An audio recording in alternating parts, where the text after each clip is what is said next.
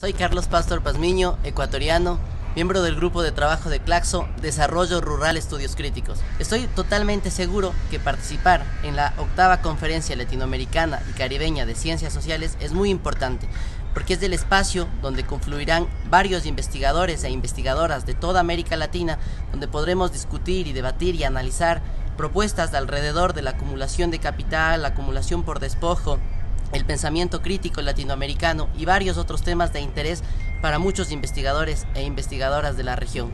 Nos vemos en Buenos Aires.